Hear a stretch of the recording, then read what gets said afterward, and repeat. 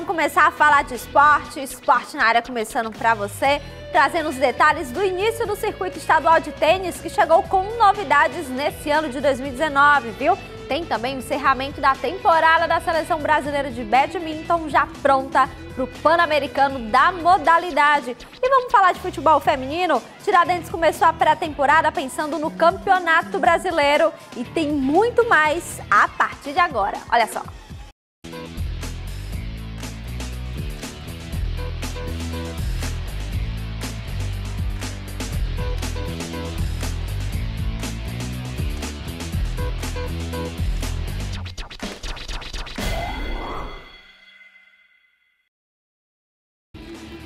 Começar então o programa de hoje só esclarecendo um pouquinho mais aquela situação de ontem, da saída do Rodrigo Fonseca da equipe do River, o técnico que conversou, o ex-técnico do River, que conversou ontem à noite e destacou que foi ele que pediu desligamento da equipe, justamente porque a situação já estava ruim.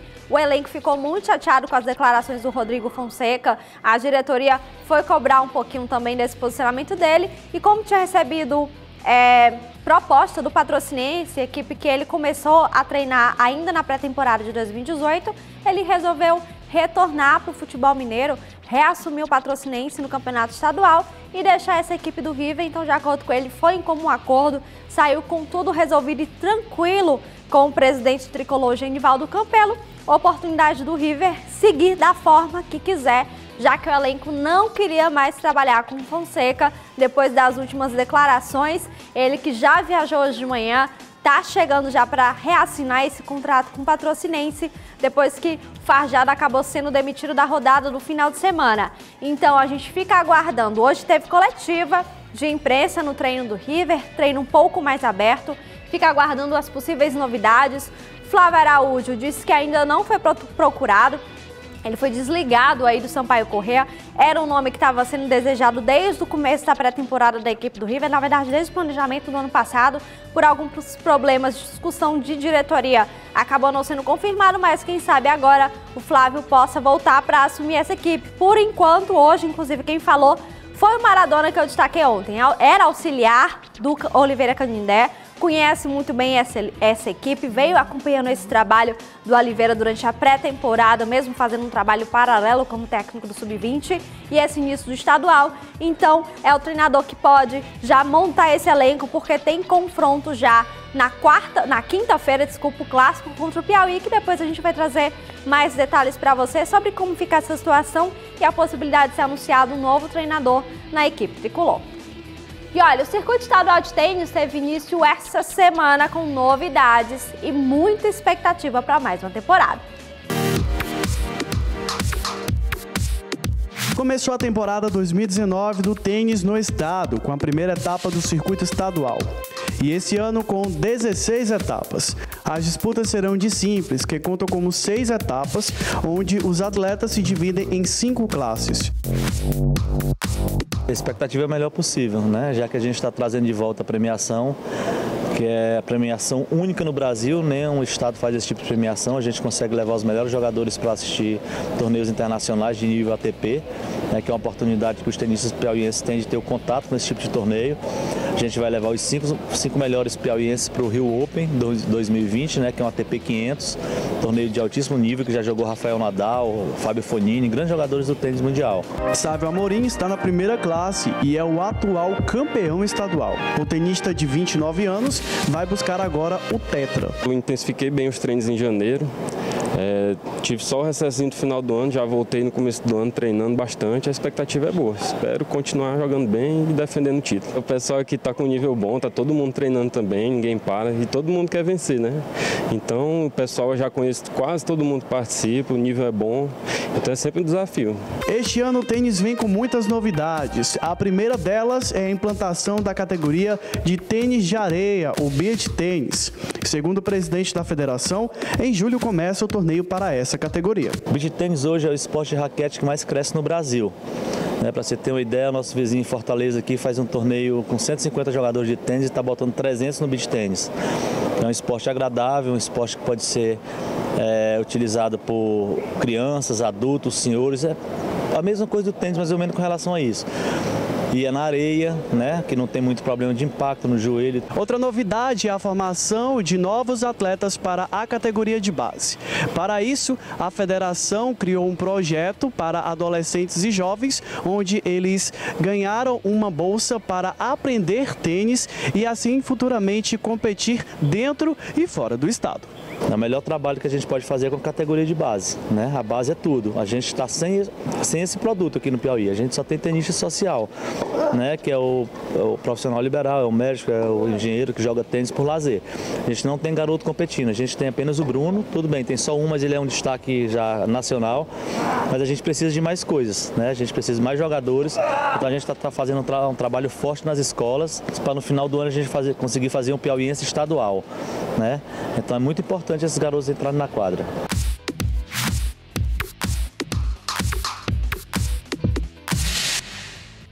Essa primeira etapa segue até o final da semana. No final de semana vai ter premiação dos melhores atletas da temporada de 2018 e vai seguir com esse bom planejamento, realmente com essas duas grandes novidades, principalmente do beach tennis, para dar um pontapé na modalidade. Sabe que aqui em Teresina vai ser em quadra de areia, mas quem sabe expandir um pouquinho o tênis para o litoral, já que não tem essa prática ainda. E olha, a seleção brasileira de badminton encerrou a temporada de treinos e já embarcou para o Pan-Americano da modalidade, torneio em que tenta brigar para voltar com a única medalha que está faltando na coleção, que é o ouro. Foi pensando no primeiro desafio do ano que a seleção principal de badminton encerrou os treinos no Centro de Excelência da modalidade aqui em Teresina. O time nacional passou um mês focando no Pan-Americano por equipes da modalidade, que acontece no final dessa semana. Tempo que ajudou, mas pode não ter sido suficiente para trazer o resultado tão esperado, o inédito ouro. Essa medalha que nós ambicionamos pode não vir agora, mas pelo trabalho que nós estamos a realizar, uh, pela forma como está a ser executada, acredito que a medalha vai ser uma realidade. Eu acho que hoje nós temos uma seleção com vários atletas para poder fazer a transição. Nós temos uma competição importante que é Lima, em 2019, nós temos 2020, a Olimpíada, e depois, claro, segue-se outra vez 2023 e 2024. Ou seja, hoje nós temos uma seleção praticamente com atletas para todos esses ciclos, o que não tivemos no passado. O que é bom para o badminton do Brasil. Além destes atletas, nós temos referenciados um outro grupo de atletas que pode vir a ser inseridos na seleção nacional para que nós possamos ter sempre atletas em todos os ciclos. Agora, se depender da força de vontade e qualidade dos jogadores, isso não vai ser problema. A equipe passou por um processo quase total de renovação, com jogadores bem mais novos que nos últimos anos, mas que carregam um crescimento do esporte no Brasil. Caso dos piauienses Fabrício Farias e Jaqueline Lopes, medalhista de bronze nas Olimpíadas da Juventude em 2018. A gente está com força total, buscando é, o título que a gente nunca conseguiu, né? Que é o nosso primeiro Pan-Americano por equipes. E é isso, a gente, a gente completou a nossa pré-temporada com maior força, com o nosso técnico Marco, com confiança. E é isso, a gente vai tentar buscar o nosso melhor resultado dentre os, os desafios. Esse ano eu comecei bem, já comecei na seleção adulta, o que eu, já, o que eu esperava para mim. E tá terminando o final dessa pré-temporada, é pra gente chegar focado, chegar bem tecnicamente e é, muito concentrado para estar tá conseguindo um resultado e é, ter, com a ajuda de todo mundo e trazer o resultado para o Brasil.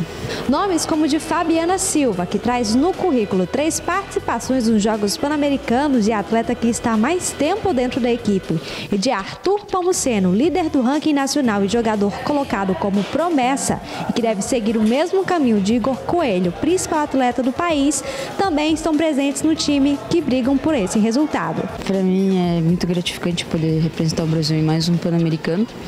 É a equipe está mesclada com uma equipe que já, já, vi, já fazia parte da seleção e uma que está vindo do júnior passando para o adulto.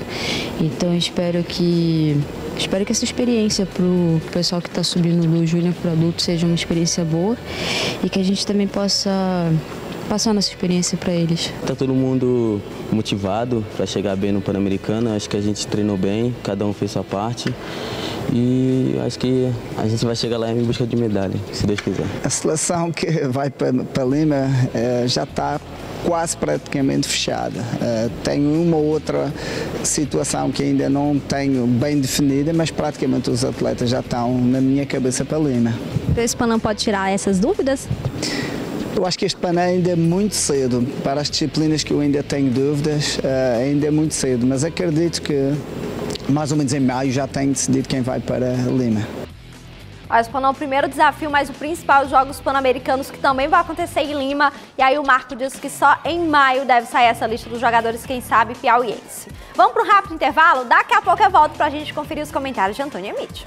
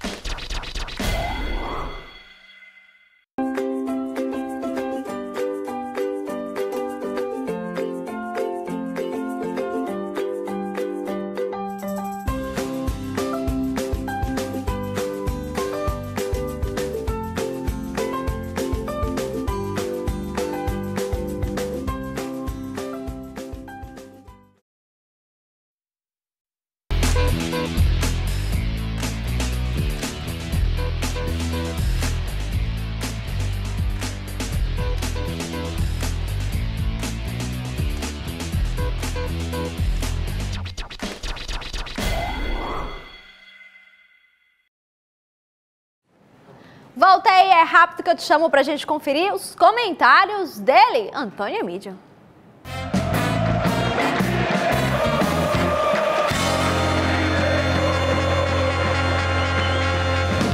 Meus amigos do esporte, gente boa do Piauí, do Maranhão, do Ceará, lá de Pato Branco, no Paraná, muito obrigado pela sintonia. Aqui é a TV Assembleia do Estado do Piauí, canal 16.1. Meus amigos, a longevidade de vitórias do time riverino já mexe até com aqueles mais antigos torcedores tricolores. São 10 meses sem o time conhecer uma vitória. Só este mês, pra, do começo do ano para cá, são cinco treinadores que foram embora. E o time do Rio não ganha uma. Perdeu ontem, perdeu domingo agora para o time do 4 de julho e ficou na lanterna do campeonato. Apareceu lá um tal de pica-pau, e eu estava lá no interior, vi um pica-pau lá na madeira. Pá, pá, pá, pá. Pois não era o pica-pau fazendo um gol no River? E aí derrotou o time tricolor por 1 a 0. Realmente a situação não está boa. Não tá... O que é que está acontecendo? É problema de administração?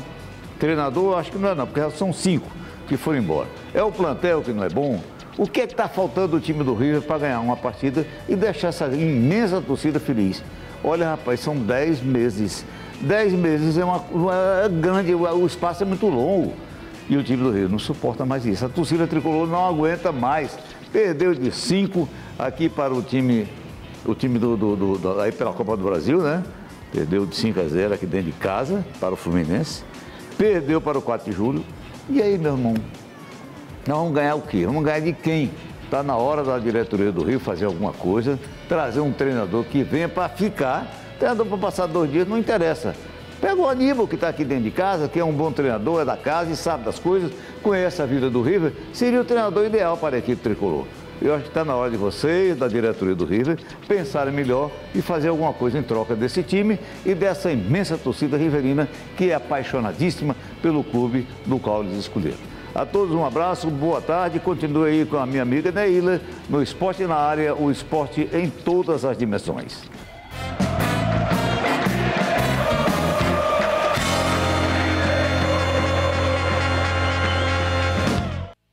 falar de judô, o ano começou com conquista e susto para o piauiense Emerson Silva, que tem uma mudança importante no judô já em 2019. Emerson Silva iniciou o ano no topo. O piauiense venceu o meeting de judô e garantiu a vaga como titular da seleção brasileira na categoria super ligeiro até 55 quilos. O meeting foi uma competição bem planejada. Cheguei lá, já sabia o que tinha que fazer, tinha que defender minha categoria na seleção. Então cheguei lá, fiz três lutas, três lutas por impor, defendi meu título. Silva soma 145 pontos no ranking e continua na liderança isolada em nível nacional. Mas aconteceu algo que ninguém esperava.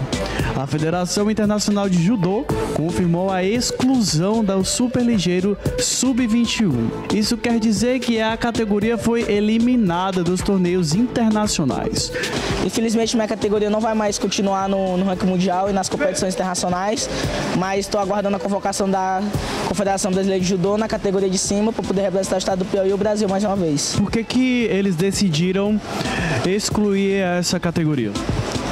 Na minha opinião, é para poder aumentar a competitividade nas categorias olímpicas, pois o investimento da Confederação Brasileira é sempre nas categorias olímpicas, para poder acreditar que aquele atleta vai um dia participar da Olimpíada está entre os atletas que vão participar. Mesmo assim, Silva segue invicto e otimista. No entanto, os planos desse ano deverão ser modificados. Segundo o judoca, ele deve ainda se reunir com o técnico para elaborar um novo planejamento. Mudou completamente, porque no começo do ano eu e o Sensei já fazemos um planejamento, já vamos decidindo competição por competição como é que vai ser, mas agora que mudando de categoria, vai mudar os eventos também, então vai ser totalmente planejamento diferente. Eu vou decidir se eu vou subir para a categoria 60 quilos de, de uma vez só, ou se eu vou ficar entre a 60 e o 55, pois ainda vai ter competições nacionais na categoria 55, mas tudo isso depende do planejamento junto com os professores.